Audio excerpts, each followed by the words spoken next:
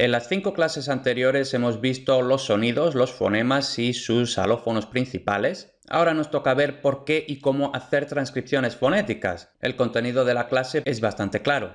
¿Por qué hacerlas? ¿Cómo hacerlas? Y por supuesto habrá práctica, transcripción de oraciones. Haré yo una frase en primer lugar la transcribiré y explicaré todos los detalles de la transcripción, diré por qué he escrito esto, por qué tal, por qué cuál, y luego te cederé la batuta a ti para que hagas tú la transcripción de la siguiente oración que corregiremos en el siguiente vídeo. Sin más preámbulos vamos a empezar. ¿Qué utilidad tienen las transcripciones? Pues ya hemos dicho que la correspondencia entre letras y fonemas es razonablemente adecuada en español. Se oye por ahí decir, se lee por ahí que el español se lee como se escribe, se escribe como se lee y bueno, ya hemos dicho que más o menos, desde luego la correspondencia es mucho mejor que en otras lenguas como el inglés o el francés, entonces eso sí es cierto, pero también hemos dicho el español tiene 5 fonemas vocálicos y tiene 17, 18, 19 fonemas consonánticos, pero luego la mayoría de estos fonemas tiene distintas realizaciones dependiendo de todos estos factores que hemos visto en las 5 clases anteriores. Entonces, si nos limitamos a leer las letras con su correspondencia fonémica, es decir, sin tener en cuenta los alófonos, las diferentes realizaciones contextuales, etc., eso va a causar un claro acento extranjero. Por eso, para intentar eliminar, para intentar suavizar lo máximo posible este acento extranjero y mejorar la intercomprensión entre el estudiante extranjero y el nativo, tendremos que tener en cuenta que cada fonema, más o menos un fonema, una letra, tiene varios alófonos, es decir, la pronunciación real, como ya hemos dicho varias veces, 17, 18, 19 fonemas, pero que la pronunciación real pueden ser, pues quizás, dependiendo de todas las variedades del español, etcétera, etcétera, pero pueden ser a lo mejor unos 30 sonidos diferentes. Entonces, por eso no nos podemos quedar con la correspondencia fonémica, sino que tenemos que tener en cuenta los alófonos. Un claro ejemplo de esto es que, tal y como habíamos dicho en la segunda clase de este mismo curso,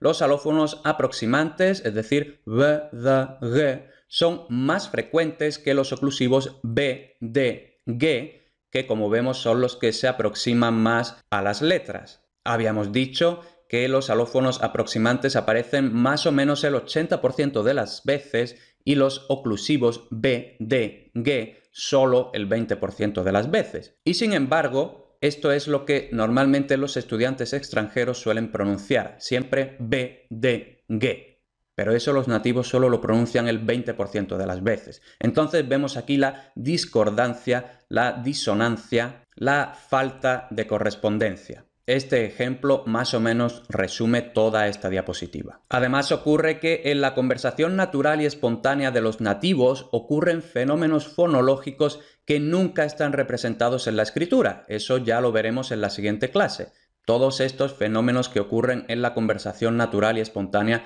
de los nativos, pero desde luego todos estos fenómenos no están representados en la escritura y por tanto no se pueden deducir, solo se pueden saber si se han aprendido de antemano. Y para finalizar con las razones, vamos a decir que las transcripciones, al ser un ejercicio escrito y reflexivo, permiten atender de forma plenamente consciente, esto de plenamente consciente es más o menos una traducción de mindful, pero que de hecho a mí me gusta más en español porque ocupa mucho, entonces pues parece más importante, ¿no?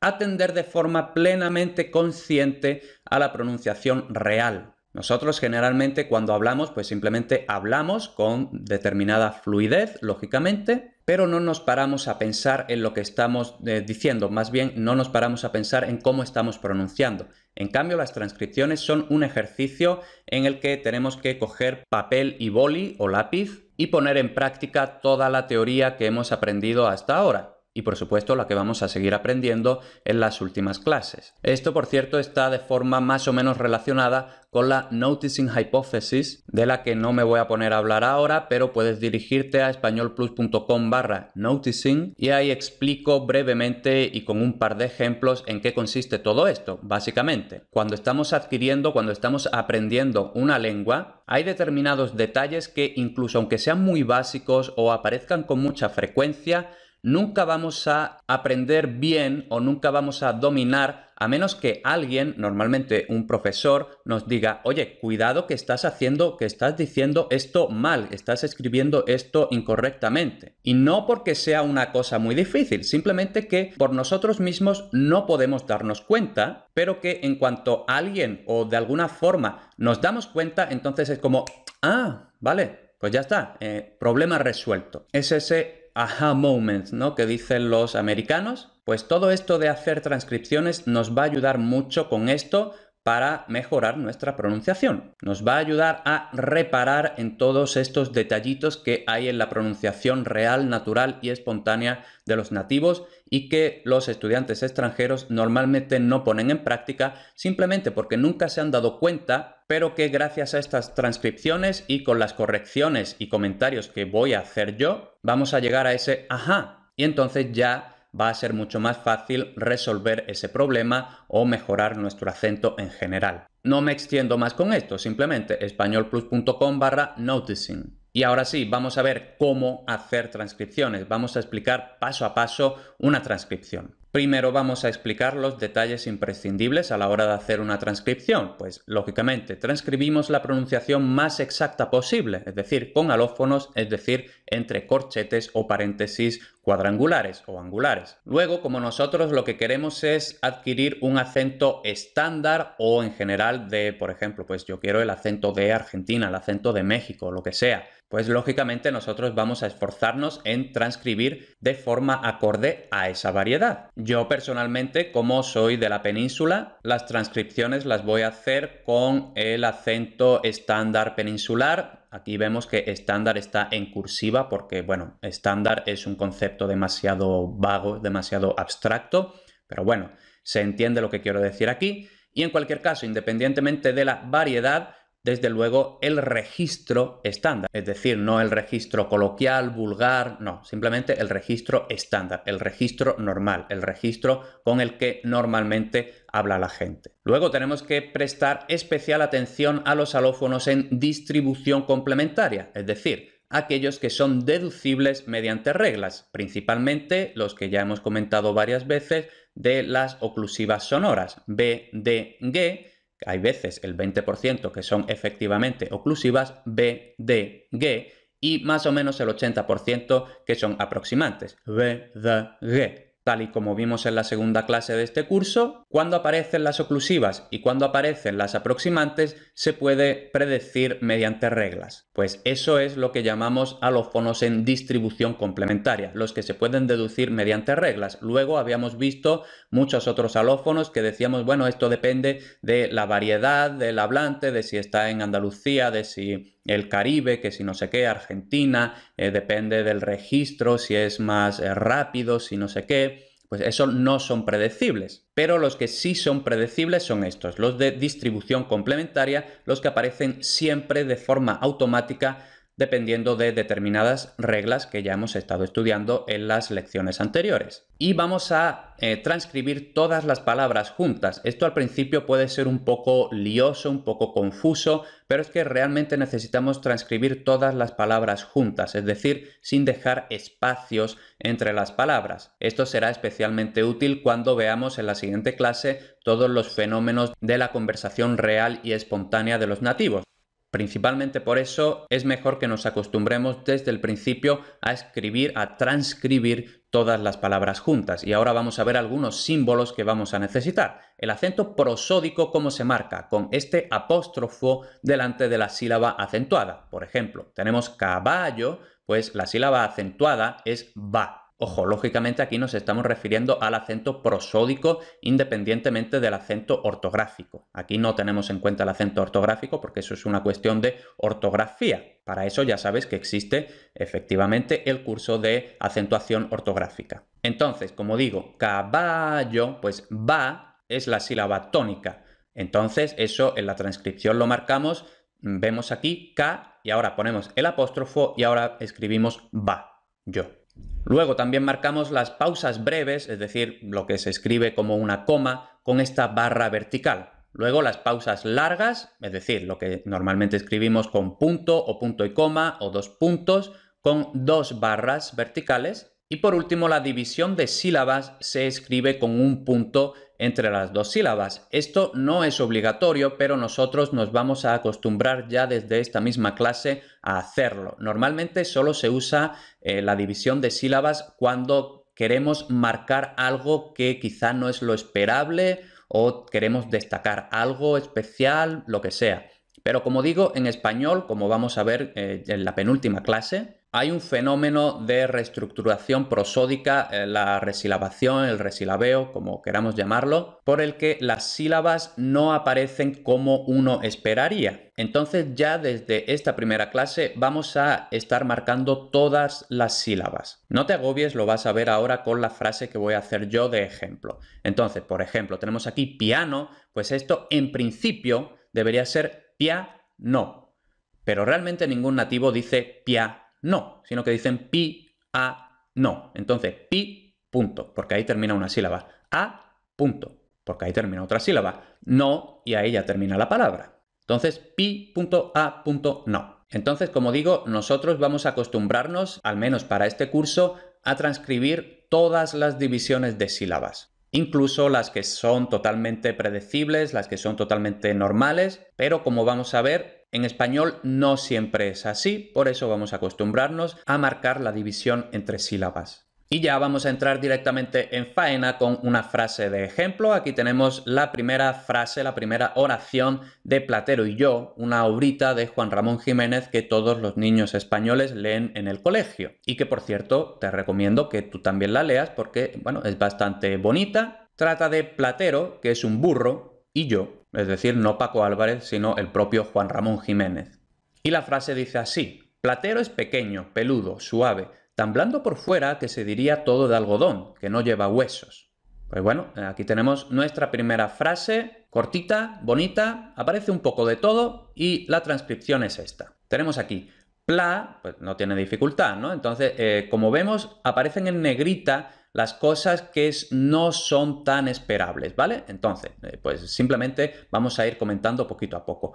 Pla, te, ahora, roes, pequeño, ¿no? Entonces tenemos aquí lo primero, que esto todavía no lo hemos visto, pero bueno, ya ha aparecido, ¿no? Entonces tenemos aquí platero. Esto en principio debería ser platero, división silábica es, porque O y E nunca pueden ser diptongo. Eso es teóricamente, pero precisamente por todo esto que hemos dicho de la reestructuración prosódica, la O y la E hacen una especie de diptongo y se pronuncian en una sola sílaba. Como digo, esto todavía no lo hemos visto, lo explicaremos, pero bueno, ya ha aparecido, entonces lo marcamos así, ¿no? Pla, te, es, entonces vemos que aquí en el ordenador no sale muy bien porque, bueno, eh, tipográficamente no es fácil hacerlo, eh, pero el circulito, el semicirculito este por debajo debería estar completamente debajo de la O, no debería estar entre la O y la E, debería estar exactamente debajo de la O. Pero bueno, entonces, plate, entonces, bueno, por supuesto vemos que platero, ¿no? El acento está en T, por tanto lo hemos marcado con este apóstrofo justo delante de T, ¿no? Entonces, platero es pequeño. Bueno, sabemos ya que la ñ se representa con esta n con el rabito hacia atrás. Hay una coma, entonces escribimos esta barra vertical, peludo. Entonces aquí ya tenemos nuestro primer caso en el que la oclusiva, el fonema oclusivo, realmente se pronuncia con el alófono aproximante. Entonces, peludo, no es peludo, sino peludo, con la D suave, aproximante. Hay una coma, por tanto, barra vertical. Suave. Aquí tenemos este caso en que, en principio, teóricamente, suave, eso debería ser un diptongo, pero realmente ningún nativo dice suave, sino que los nativos dicen su a lo dicen como un niato, ¿no? Entonces, por eso eh, conviene que marquemos la división silábica aquí, ¿no? Su punto a, b. Y aquí tenemos esta B, bueno, la V ortográfica, que sabemos por supuesto que la V ortográfica es igual que la B. No existe el fonema V en español, ¿no? Entonces, nuevamente, aquí no corresponde el alófono oclusivo, sino que corresponde el aproximante, porque el contexto indica que es aproximante. Ahora tenemos un punto y coma, por tanto es una pausa larga y por tanto dos barras verticales. Tamblando por fuera. Bueno, aquí tenemos tan, que por supuesto ortográficamente y normalmente se pronuncia con una N, pero habíamos dicho que las nasales, principalmente la N, tiene esta característica de que se asimila, de que va eh, anticipándose a la siguiente consonante.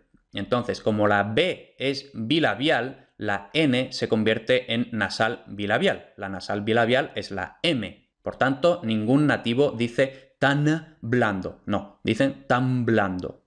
¿Vale? Porque la N se convierte en M por influencia de la B que sigue. Vemos, por cierto, que tan no tiene ningún acento, ¿no? El acento no llega hasta blando, ¿no? Tan blando. La cuestión de los acentos también la tenemos que ver todavía, lo veremos dentro de un par de clases. Y ahora vemos aquí que la B efectivamente es oclusiva porque precisamente está en uno de los pocos contextos en los que B permanece oclusiva, que es detrás de M. Entonces, tan blando. La B es efectivamente B oclusiva. Luego tenemos blando, pues otra vez tenemos casualmente que la D está en uno de los dos contextos o de los tres contextos en los que permanece oclusiva. Detrás de pausa que no es el caso, detrás de L, que no es el caso, y detrás de N, que sí es el caso. ¿No? Entonces la D, como está justo detrás de una N, permanece oclusiva. Por cierto, no lo he comentado, vemos que aquí blando la D permanece oclusiva porque va justo detrás de N, pero es la misma palabra. Vemos que eh, esto también ocurre entre palabras distintas, ¿no? En tan blando. Tan es una palabra, blando es otra palabra pero como, aunque sean palabras distintas, se escriben separadas por un espacio, pero en la conversación real, pues se pronuncia totalmente seguido, ¿no? Entonces por eso se aplica la misma regla. En fin, no te quiero liar, esto lo seguiremos viendo en las siguientes clases. Continuamos. Por fuera. Aquí no hay mucho más que comentar, simplemente tenemos aquí fuera, pues este fue es un diptongo normal, entonces pues ponemos este semicirculito debajo de la U. Ahora tenemos una coma, entonces barra vertical y continuamos. Que se diría todo de algodón. Este que, como veremos en la clase sobre acentuación, es átono. Este se pronombre también es átono. Entonces, pues vemos que todavía no hay acento. El acento no llega hasta que se diría, ¿no? Diría, como no va justo detrás de pausa, ni justo detrás de n, ni justo detrás de l, entonces toca el alófono aproximante. Entonces, que se diría todo de algodón. Pues aquí tenemos todo, otra vez, la D toca aproximante y luego en todo de algodón, pues otra vez la D, aunque sean dos palabras distintas, todo y D, pero la D de la preposición de no va justo detrás de pausa, no va justo detrás de N, no va justo detrás de L, por tanto lo que toca es el alófono aproximante.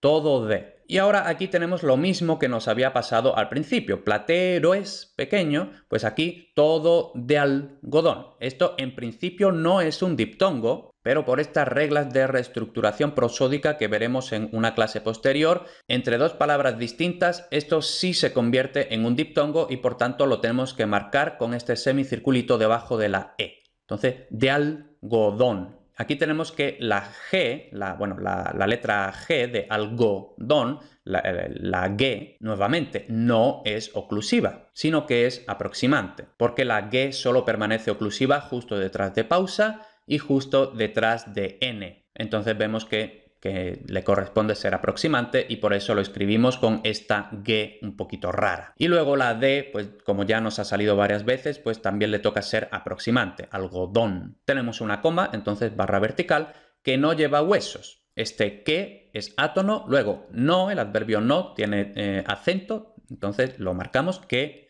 apóstrofo no lleva huesos. Aquí una vez más tenemos que la V ortográfica, es decir, el fonema B, simplemente se transcribe con esta beta griega porque es el alófono aproximante. Y ya por último tenemos en huesos, por supuestísimo la H no suena, entonces no la transcribimos. Huesos, pues tenemos ue, un diptongo normal, y luego sos. Y ahí ya cerramos la transcripción y damos por terminada esta frase. Entonces, antes de eh, dar por finalizada esta clase en general, vamos a pararnos a ver que tal y como habíamos dicho, la mayoría de las B, D, G son efectivamente aproximantes. Solo tenemos una B oclusiva y una D oclusiva. Todas las demás son aproximantes, por lo cual efectivamente podemos ver en esta transcripción y lo seguiremos viendo en las demás transcripciones que la mayoría de B, D, G no son oclusivas, sino que son aproximantes. Entonces tenemos que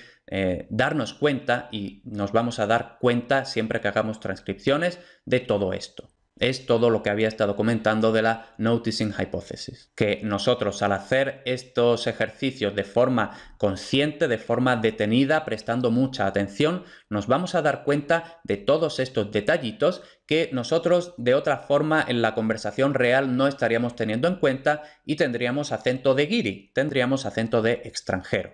Pero al hacer este esfuerzo cognitivo, poco a poco iremos incorporando esta teoría también a nuestra pronunciación real. Por supuesto, simplemente hacer la transcripción no nos va a servir para automáticamente mejorar nuestra pronunciación, pero desde luego es al menos el segundo paso. El primer paso es lo que hemos visto en las cinco clases anteriores, es decir, conocer con detalle los fonemas y sus variantes alofónicas, ese es el primer paso. El segundo paso es practicar para ver exactamente dónde aparecen cada variante alofónica y después de ese paso en el que hemos reflexionado sobre todo eso, pues ya podremos ir incorporándolo a nuestra eh, pronunciación real. Bueno, me callo ya porque si no nunca termino, me enrollo más que las persianas y aquí te dejo la siguiente frase de Platero y yo. Esta ya la vas a transcribir tú solito, teniendo en cuenta todo lo que hemos estado haciendo. Vas a ver que aparecen eh, nuevas cosas que todavía no hemos visto,